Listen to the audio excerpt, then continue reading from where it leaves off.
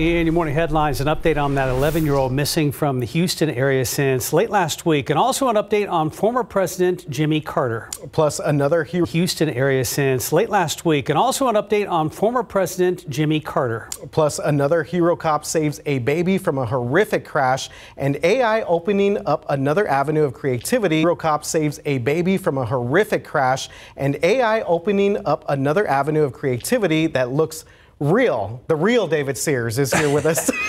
it's not a hologram or AI version that looks real. The real David Sears is here with us. it's not a hologram or AI version. Are of you David sure? Pretty sure. You look real. Pretty sure? this AI thing, this new thing, this could open up a whole new. Are you sure? Pretty sure. You look real. Pretty sure? this AI thing, this new thing, this could open up a whole new can of worms, and some are good, some maybe not so good. We'll have that for you in just a second. It's the real. The search for a can of worms, and some are good, some maybe not so good. We'll have that for you just a second. It's the real. The search for an 11 year old Audrey Cunningham continues today. Investigators now have a person in custody. He is the roommate of Audrey's father. 11 year old Audrey Cunningham continues today. Investigators now have a person in custody. He is the roommate of Audrey's father. He has a long rap sheet that includes a conviction for enticing a minor back in 2008. Audrey lives with her father. He has a long rap sheet that includes a conviction for enticing a minor back in 2008. Audrey lives with her father. Her mother says Audrey was supposed to catch the school bus last Thursday morning about 7 o'clock in the morning. She never, her mother says Audrey was supposed to catch the school bus last Thursday morning about 7 o'clock in the morning. She never got on the bus and hadn't been seen since. You're broken, you're, you're mad, you. Uh, got on the bus and hadn't been seen since. You're broken. You're you're mad. You uh, you're lost. You're empty. And right now, I I'm empty. We are hopeful that we can bring. You're lost, you're empty, and right now I, I'm empty. We are hopeful that we can bring Audrey home alive, and that's what we are absolutely working for right now. But Audrey home alive, and that's what we are absolutely working for right now. But based on the evidence that we've got, we understand that foul play is a factor as well. Yeah, investigators. Based on the evidence that we've got, we understand that foul play is a factor as well. Yeah, investigators referring to the fact that they found the girl's backpack near a dam along with other items, but they are not saying what those other items. Referring to the fact that they found the girl's backpack near a dam along with other items, but they are not saying what those other items are. They are also looking for a blue Chevy Suburban. Former President Jimmy Carter hanging are. They are also looking for a blue Chevy Suburban. Former President Jimmy Carter hanging in there. He's now been in hospice care for a year. His grandson was on CBS yesterday and said his spirit is strong, but then there, he's now been in hospice care for a year. His grandson was on CBS yesterday and said his spirit is strong, but they don't have any expectations for his body that has been through a lot in his later years. Carter, 99 years old, the 39th president, is the oldest living president in U.S. history. Just in the last few years, he's had survived brain cancer, liver cancer, brain surgery, among other health issues. And of course, his wife, Rosalynn Carter, died in November of last year at the age of 96 before hospice care. He was in and out of the hospital. The family said in a statement how grateful they are for all the love they have received. All right, you are on board a police car in Florida. The cop getting passed by a motorcycle. You see the motorcycle right there. Now, wait for it here in just a few seconds. You see an explosion. The guy on the motorcycle ran right into the back of a family in an SUV, causing a huge crash. First Sergeant Dave Musgrave got there, got the what he thought was the only baby in the car out of the vehicle. Then he went back for the mom, telling her the baby was fine, but mom was screaming that she didn't see her other baby, the six-month-old Lola, up under the dead man, still in her car seat. Musgrave started CPR while the mother, obviously distraught and screaming. Is she alive? Is she alive? I lost my fiance uh, six months ago, and so um, what was running through my head was I can't lose anybody else. I just heard him breathe. You got it? Come on. He's our hero. He is. You know, we will never repay him for what he did because what he did for us was life changing. I'm a father. I'm caring. I mean, we're all cops. We all care. So she's innocent. She didn't deserve this. Their incredible hero cop story. Baby Lola still fighting in the intensive care unit in a Florida hospital. All right, we are getting into those areas that sound really cool with AI. Now there is a new tool that can create videos. You're looking at Sora, that name of the new tool. The maker is the same company that brought you GPT Chat. Basically, you type in the video that you want to see, and Sora will create a minute long video from your instructions. Here's an example. A young man in his 20s is sitting on a piece of a cloud in the sky reading a book. There it was. Or a litter of golden retriever puppies playing in the snow. Their heads pop out of the snow. Right off the bat, you know, with the good, oh, there's going to be some bad. It's making the whole process of deep faking easier. It's making it so you don't need any technical skills to make a fake video that looks like almost anything you want. If you look carefully, there are often problems, but if it's a short little video, you might be able to fool somebody pretty easily. Yeah, you also have to ask are there limits to the kind of videos you can make? Who is monitoring these videos for sorted ones? And you know some nasty things can happen, and somebody is going to probably try it. There are also questions about copyright. Hollywood going to have to have a lot more things to worry about the rights of artists and privacy. Remember, they went on strike, and that was one of the big things with Hollywood. Mm-hmm. They were striking about is this new AI and all this new stuff that they got to worry about. Are you going to fake the actors? Are you going to fake, you know, some of the scenes with, with AI? So there's that, there's a lot going on here. That was one of the key sticking points when it mm-hmm. seemed to go on for weeks and yeah. weeks. All right, so, David. We'll see. All right, thank you, sir. All right. Yeah, that is incredible stuff there. I mean, real lifelike and a little bit scary for sure. Very scary yeah. in a lot of ways. 907, 46 degrees, still ahead on GMSA at 9. Neighbors in a Northwest Bexar County community are concerned that a new park will only lead to more crime in their area. We'll tell you how Bexar County Sheriff Javier Salazar is responding to those concerns. Plus, spring break coming up fast, and if the weather's nice, that might mean pool time. We come back how one program is teaching young children to be safe in and around the water. This Best of Mutton Busted, powered by your San Antonio area Chevy dealers.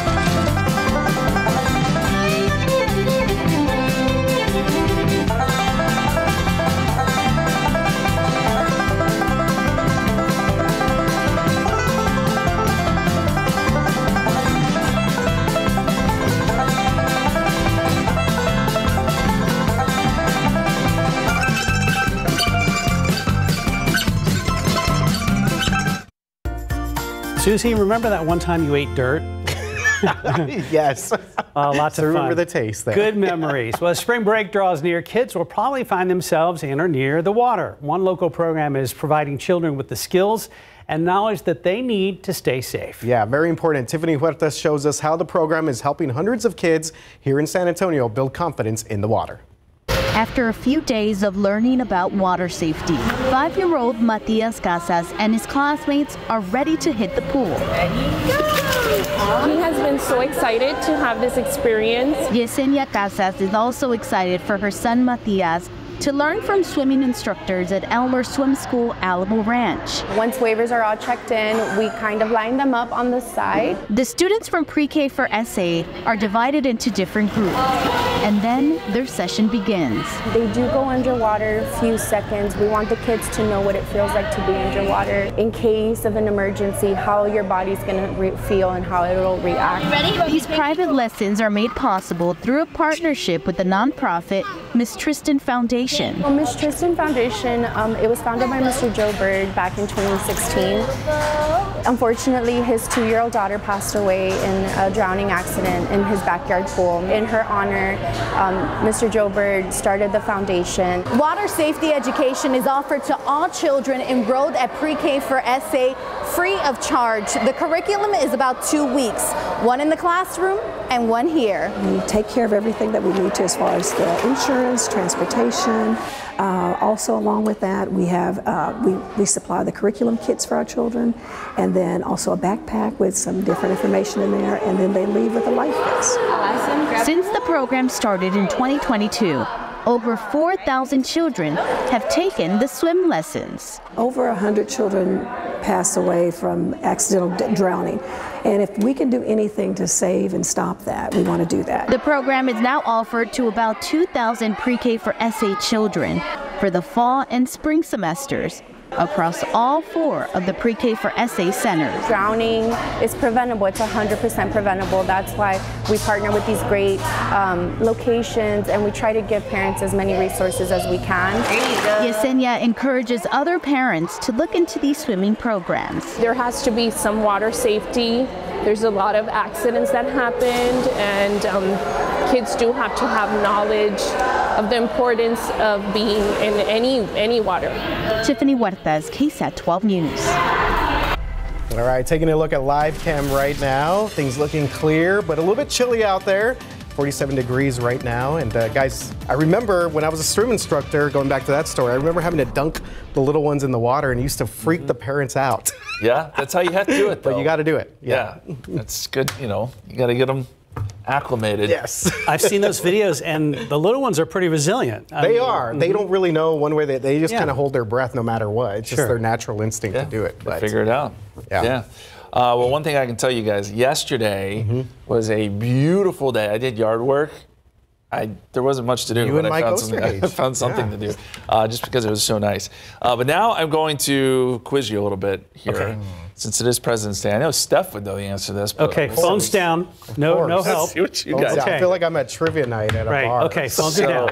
Yeah. phones down. Who is known as the father of weather observers? Obviously, all choices are all presidents here. Thomas Jefferson, John Adams, George Washington, or my man James Monroe. Ooh. I don't have an inkling on this one at all. Uh, you know what? Let's go D.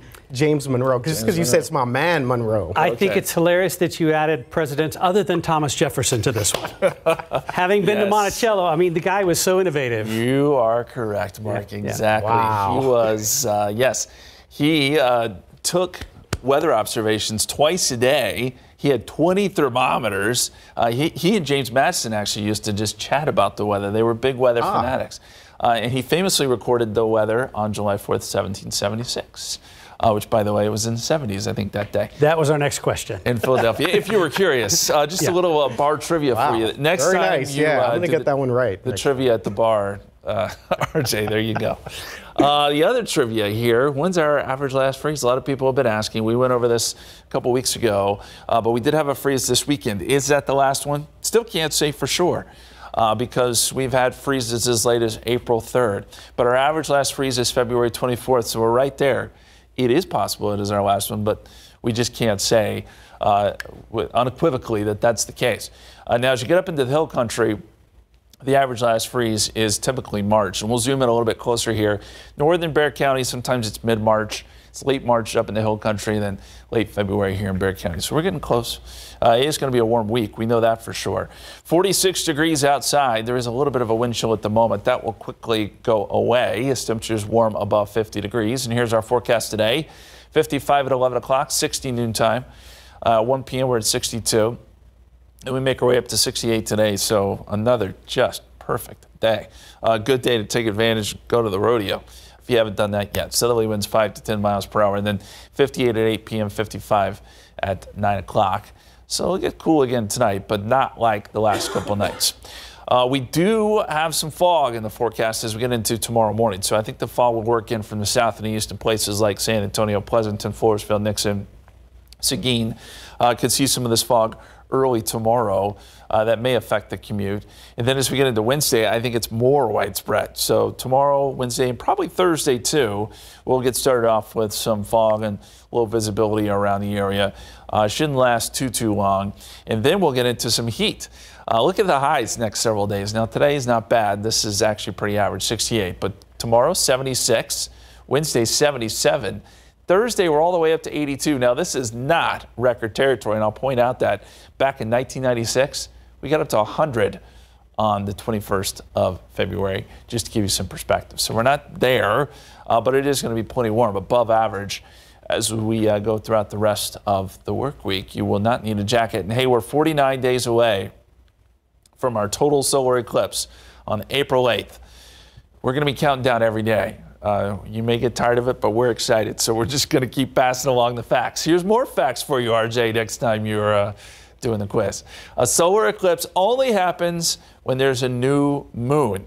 Uh, and there's several things that have to come into conjunction, obviously, to get a total solar eclipse. We are so lucky uh, to be having it uh, move right across parts of our area. We are very, very excited about it. We'll be doing a countdown every day, and uh, we'll be giving you a fact every day until we get there.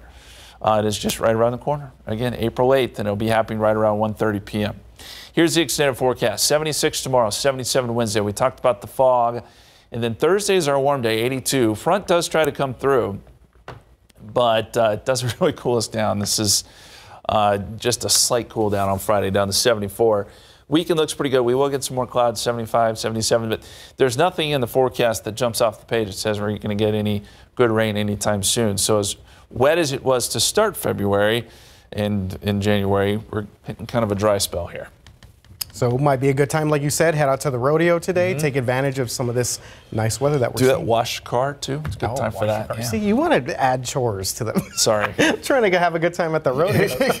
No more chores. I had to wash my truck last night later than I thought. Uh, somebody threw an egg at it, and I get it sat Oh, there all weekend. And okay. if you haven't realized it, uh, egg is one of the hardest things it to is. get off mm-hmm. of almost any surface. Wow. Yeah. Yeah. Okay. That's a lot of fun. Yeah. 920, 48 degrees. Well, if you haven't interviewed for a job in a while and are thinking about getting back out there, you might notice the interview process is a little different these days. We're going to tell you what some companies are doing to make sure they hire the best candidates. 923 job interviews have changed over the years as the hiring process has evolved. They went from in person mm-hmm. sit downs to Zoom meetings and even now AI interviews. More AI interviews. But as mm-hmm. ABC's Reena Roy explains, the latest trend doesn't have to do with how the interview takes place, it's what you're required to do outside the interview on your own time.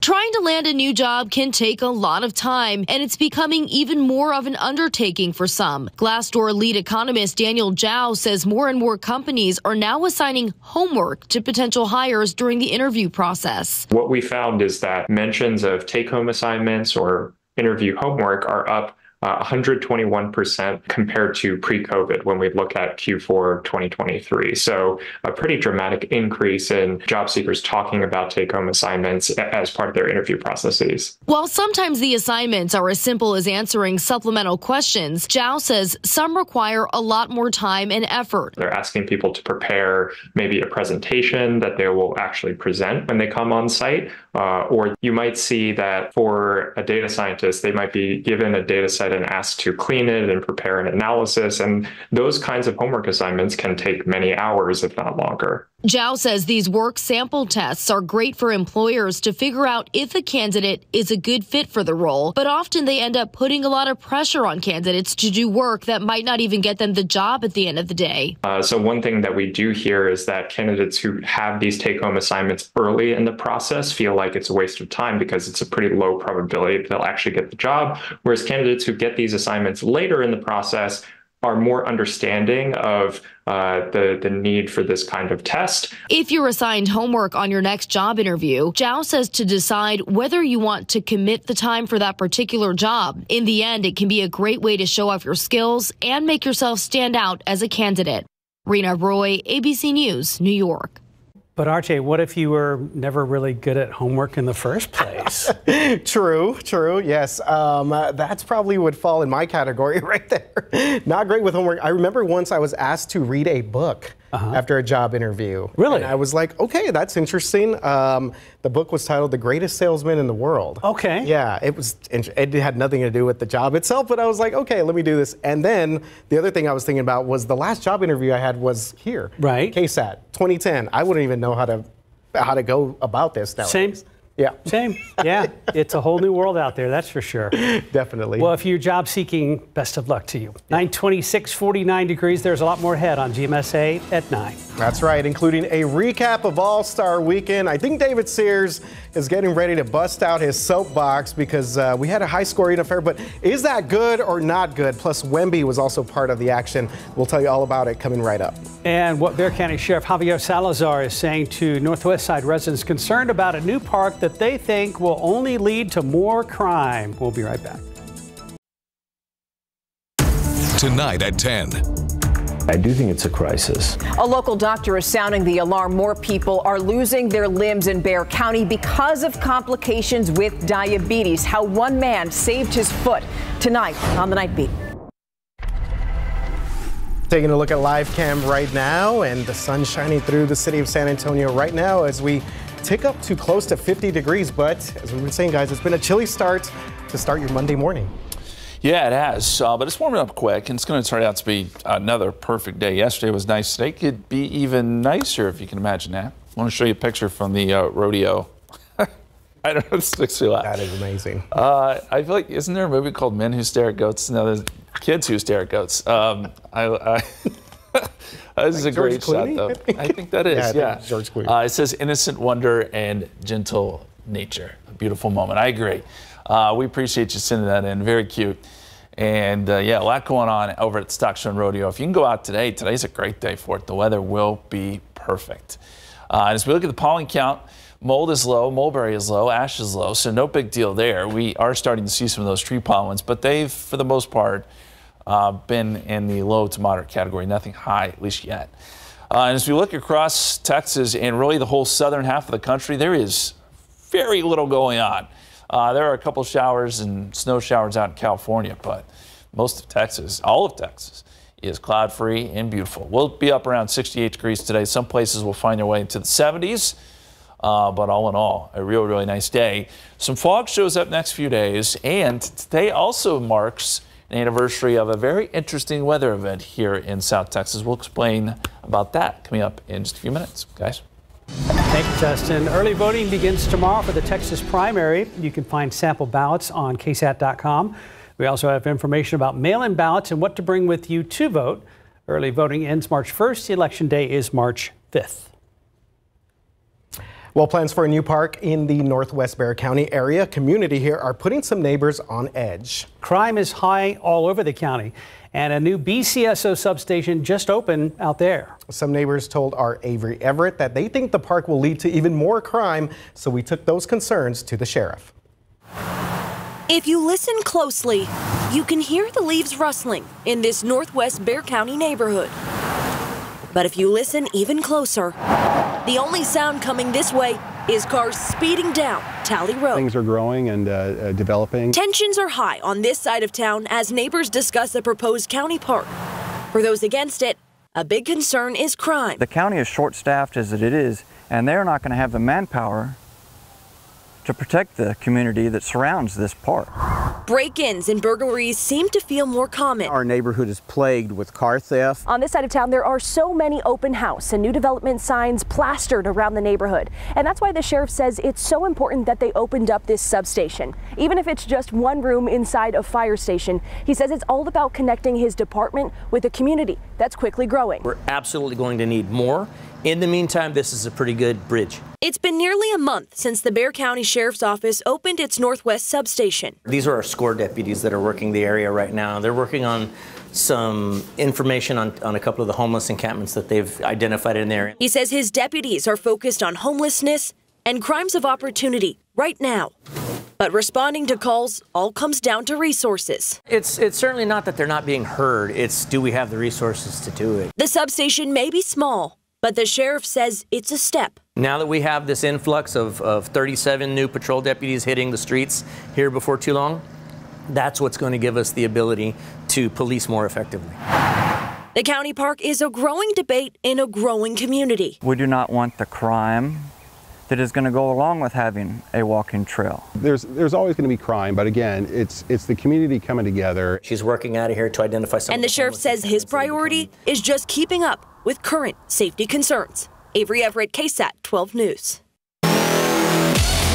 All right, David is back with us to talk All Star Weekend. And David, uh, was it All Star Weekend? It, it was. There were All Stars there. The game was not All Star quality, though.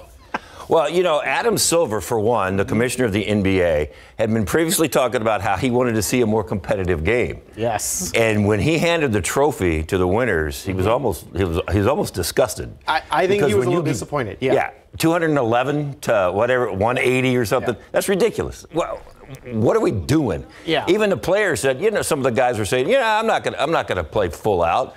Because it's an all-star game, and guys are talking about getting. I mean, look at that. I mean, really? Uh, ni- nice job. Missed a missed a wide open one-handed slam dunk.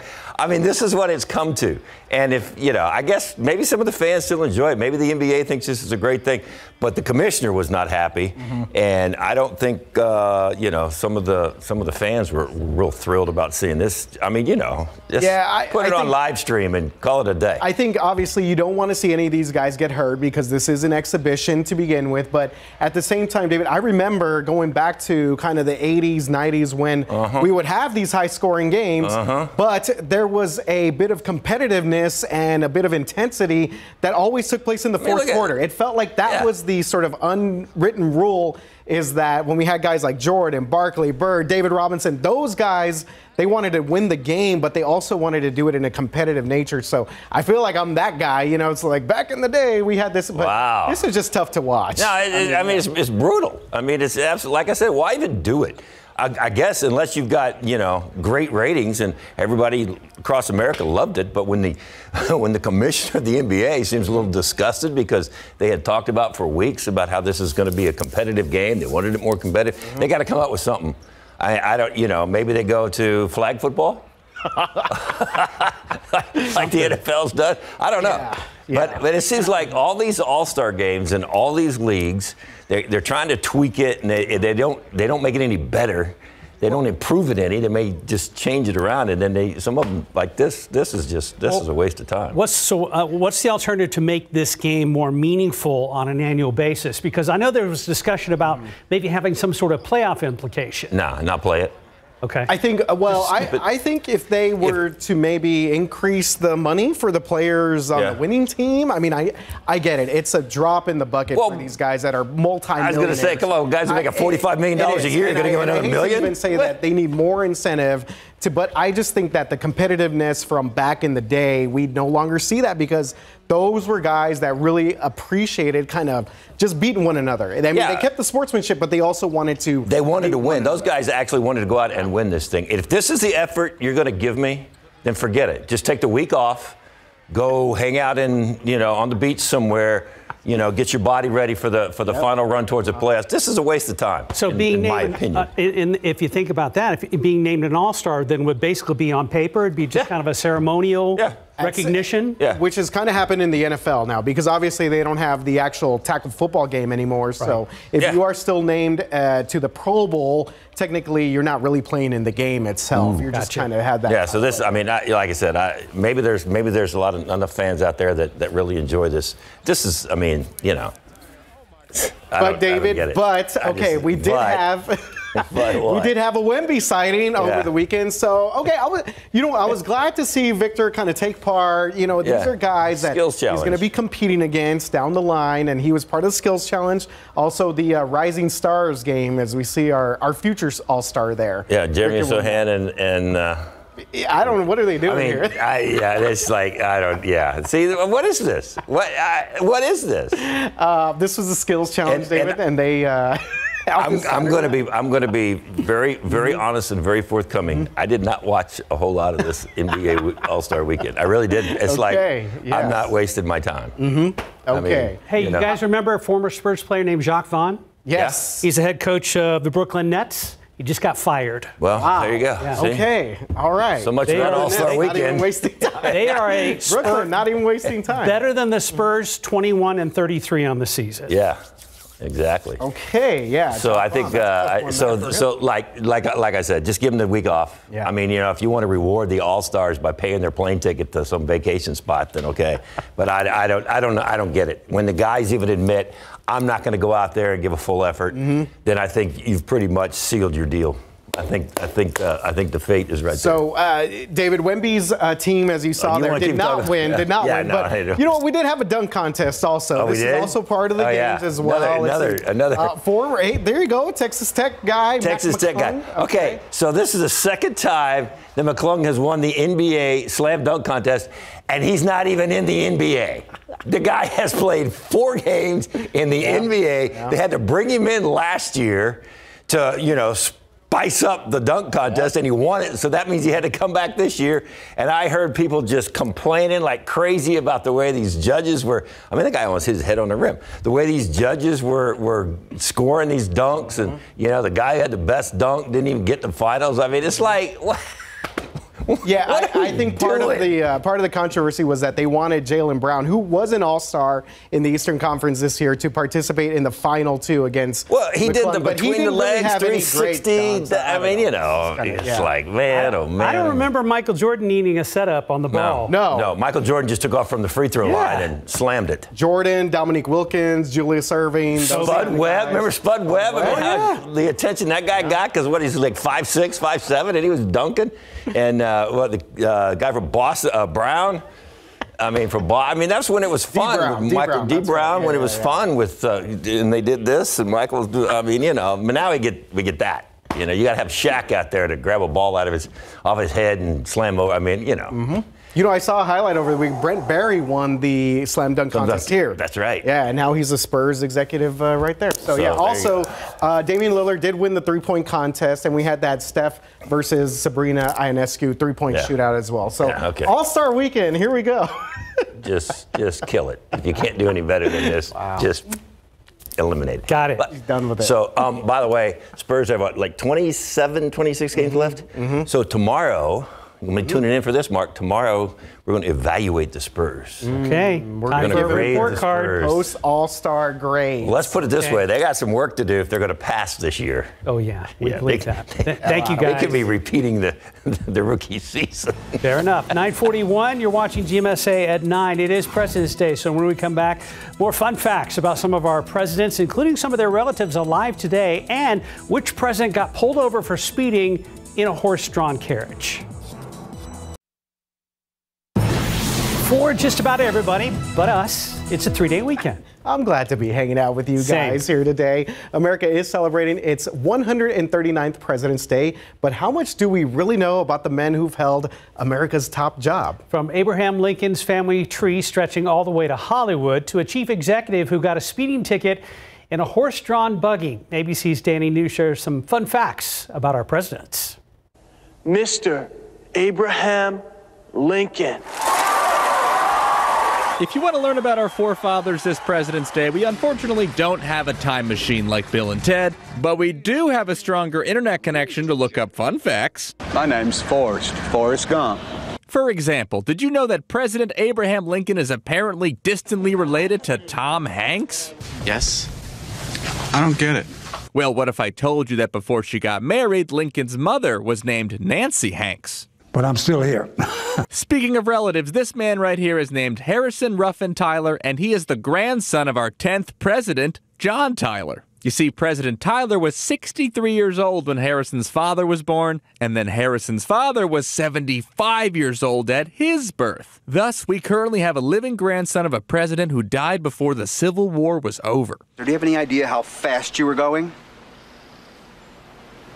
Well, Speaking of the Civil War, did you know that Union General and 18th U.S. President Ulysses S. Grant once got a speeding ticket on a horse drawn carriage? Yeah, in 1872, he was reportedly pulled over for going too fast, got arrested, and ended up paying a $20 bond. A moment I wake up. It actually wasn't until President William McKinley, the namesake of McKinley High and Glee, that we would finally get a president who rode in an actual automobile. You'll have to excuse me, though.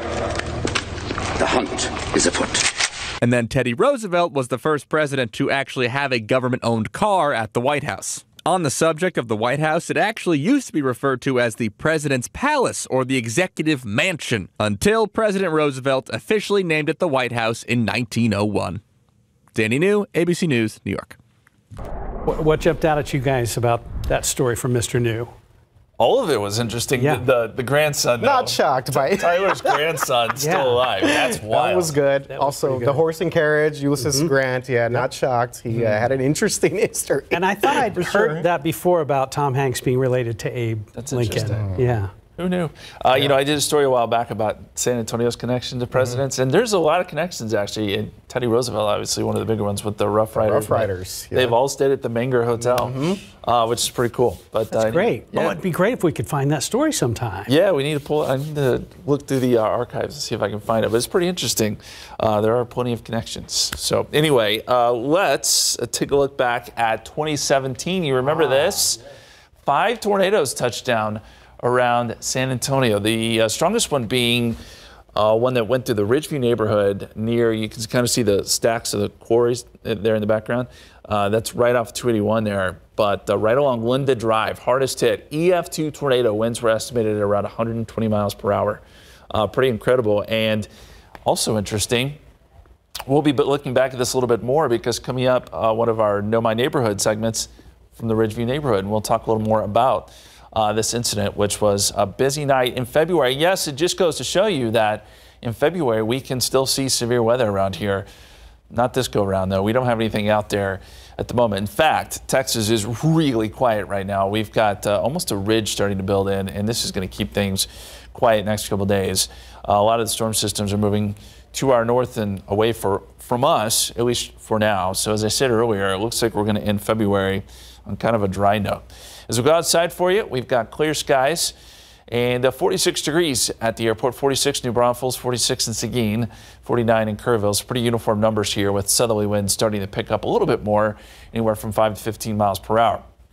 We should be up around 70 today, upper 60s, uh, close to perfect as we've been saying here in South Texas. Doesn't get much better than this. 70 in Pleasanton, 73 in Carrizo Springs, and sunny skies for everybody.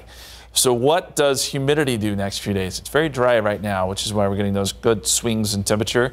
But by the time we get into tomorrow, humidity starts to increase a little bit and then a little bit more by Wednesday before dry air pours in on Thursday.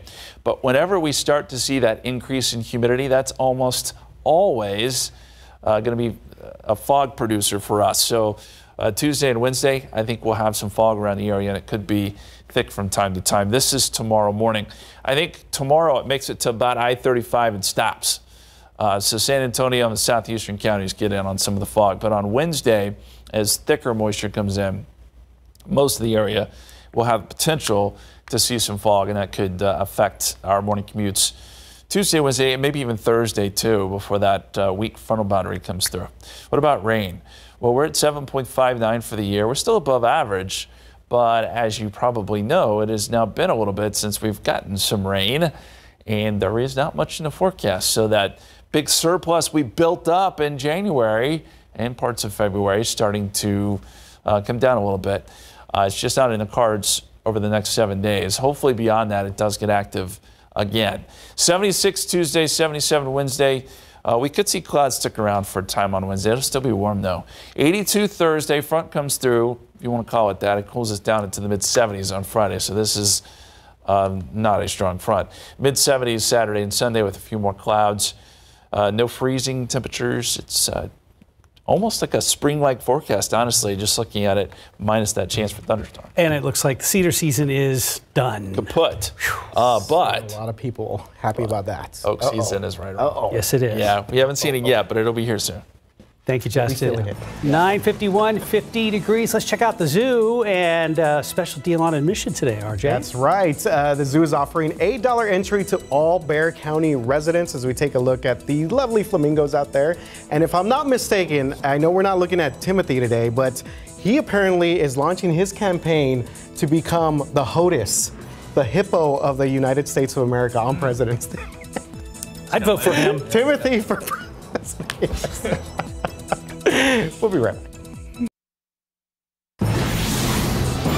Last night was the People's Choice Awards. Adam Sandler and Lenny Kravitz were honored with Icon Award. There's Adam.